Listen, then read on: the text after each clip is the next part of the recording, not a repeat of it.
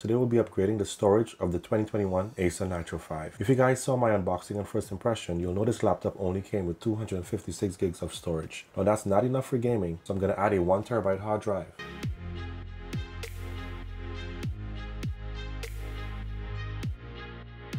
For the installation, we're going to need a Phillips head screwdriver, of course a 1 terabyte hard drive, and in the box there was a part specifically for upgrading the storage. You want to find this and get this nearby because we're going to need this to install that hard drive. If you find this content helpful, be sure to subscribe to my channel and give the video a thumbs up. I really appreciate you guys supporting the channel. Let's get into the upgrade process. So before upgrading, you want to power the laptop off completely. You don't want to put it to sleep. You want to shut that down. Now you want to spread something to prevent the laptop from being scratched. I'm going to put that face down. There are 10 screws around the edge of the laptop and there's one in the middle. We're going to remove all these screws, keeping them nearby to get into the bottom of the laptop. So let's start with that process. You can start with any screw. I'm going to start with the ones at the bottom as that's closer to me.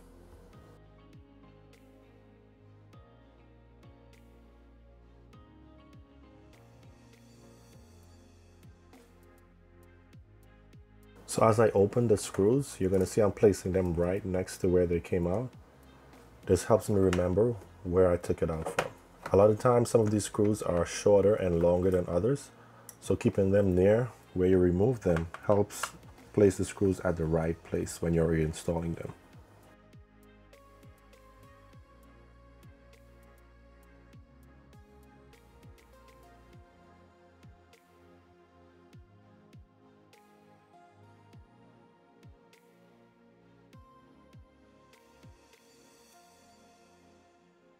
Now that we've got all the screws out, we're going to start at any corner and start prying the base of the laptop open. Just be very careful as you're opening this up. There may be cables attached to the bottom of the laptop that you don't want to tear.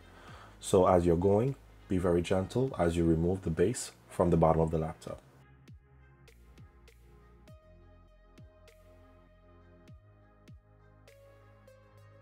So here we have the Wi-Fi card we have the Kingston Drive, the 256 gig storage. This is upgradable. As you guys can see, we can remove this and upgrade it. We have that single stick of RAM. If we wanted to upgrade the RAM, we'll place another right here. Here are those cooling fans. Here we have the speakers on the lower left and right. And here's that vacant hard drive bay. Here's the battery.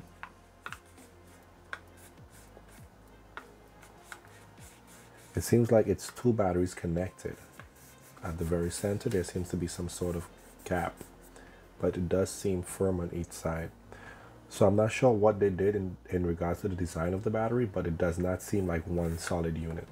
So the battery is a 55 watt hour battery.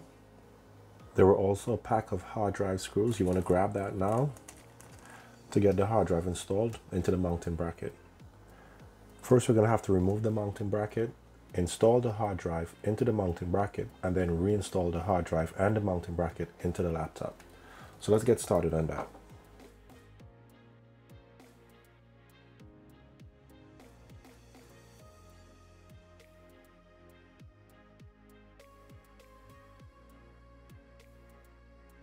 Let's just grab this. So we're going to place the hard drive into the cage. The cage is a lot weaker than I thought. In my other gaming laptops, they're always usually solid metal cages. This is the first time I've seen a case like this. It's like some sort of plastic material with a metal coating around it. Now that we've got the laptop hard drive installed to the cage, we're gonna install that ribbon cable. So this is where you plug that in at this very small port here. Let me zoom in so you guys can see that better. This is where you'll want to plug that in. There's a little flap that you lift up. You're going to want to install the ribbon cable with the pins facing down.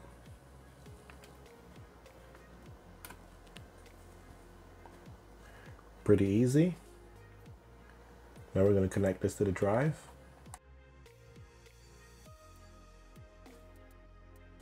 Okay, so we've got the drive installed. All we need to do now is install the bottom panel, add those screws back in place and we'll be all set.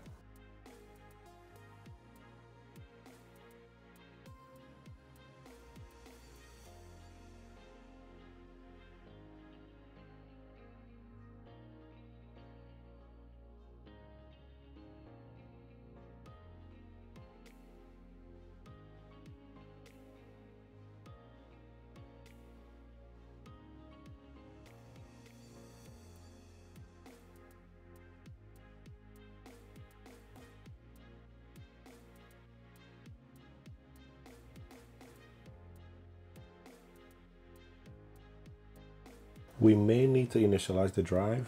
Let's take a look at um, Windows File Explorer.